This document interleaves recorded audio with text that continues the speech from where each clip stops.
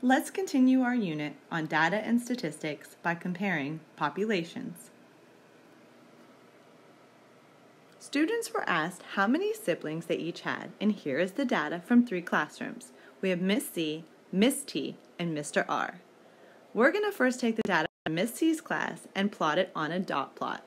You can use an X or a circle dot, whichever is more convenient for you. Just make sure you don't forget any data points. After our dot plot is complete, we're going to find the mean, or the average. Remember, there's two steps to finding the mean. First, we find the total of all of the data. So we add everything up here and get 60. Next, we have to divide by how many people were surveyed.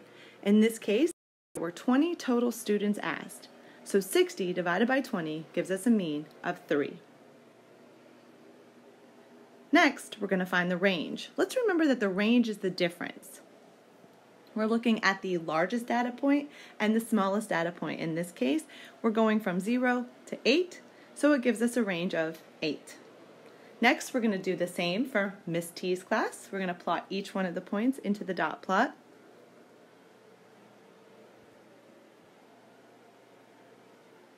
After we complete the dot plot, we're going to find the mean or the average. Remember, total up all of that data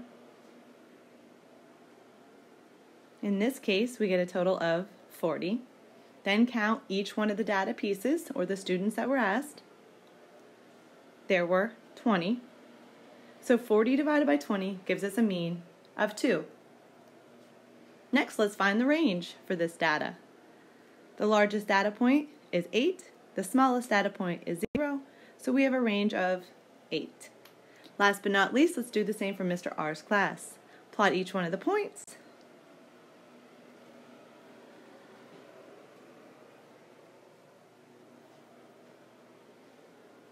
Then let's find the mean, totaling up all the data. We get a kind of large total this time, you'll notice.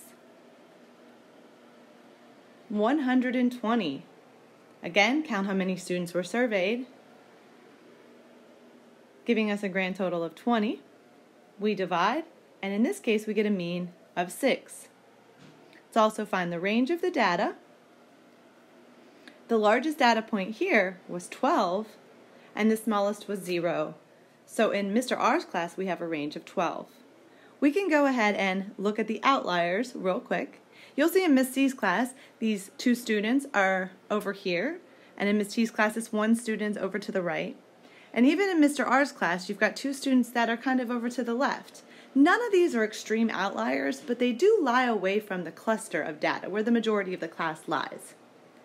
Now we're going to fill in all the data we found, the mean and the range, for each one of the classrooms into a table so that we can compare each of the classes to each other. Here's everything that we found earlier. And we can actually look at this and infer that Mr. R's class has the largest mean and range. And there's some variability there with a range of 12 and a mean of 6. Now let's compare populations using box plots, same data. Just want to walk us through how this works. Remember, the first thing you have to find is the median, and the median is the middle number. Well, in this case, there's two numbers in the middle, a 2 and a 3. So what's between 2 and 3? 2.5. That's our median. Now we look at the lower set of data and find the median here. In this case, it is 1. Look at the upper set of data. Let's find the median here. Well, it falls between 4 and 5. It's 4.5. Each one of these are plotted, including finding the minimum, which was 0, and the maximum, that is 8. Let's do the same thing for the other classes.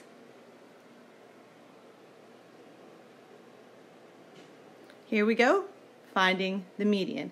Again, I will remember remind you that the median is the middle number. It's the number in the middle. We have a 2 and a 2, so that gives us 2. That's kind of easy.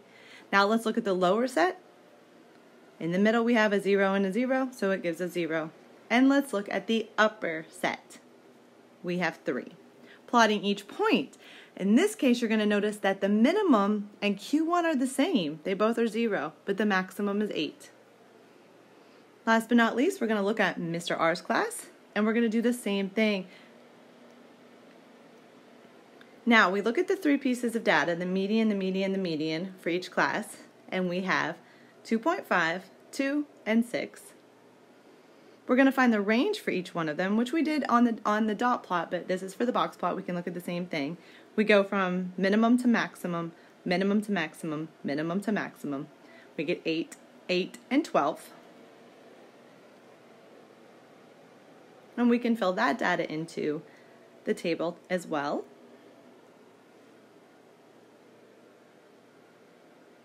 And then we're going to find the IQR. We need to remember that IQR means interquartile range. So we're only looking where the box is. We're finding the range inside the box. You notice here, looking just at the box, it goes from 0 to 4.5. I'm sorry, it goes from 3 to 4.5. So that is 3.5. From 0 to 3 is 3. And here, from 3.5 to 8.5, we get an IQR of 5. So we can fill that data in as well. We get 3.5, 3, and 5.